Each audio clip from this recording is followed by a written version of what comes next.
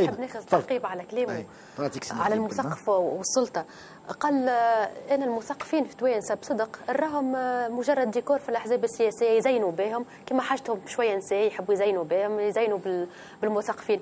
المثقفين يخدموا بهم في تونس والمثقفين مقصيين من من الفعل السياسي والعمل السياسي. ولكن بالكش ثم مثقفين يحبوا يخدموا أحزاب سياسية أيضا. أه، يحب يخدم حزب سياسي راه مش يخدم ثقافة. أنا نتصور يحب ياخذ منصب سياسي. دون أكثر ولا أقل.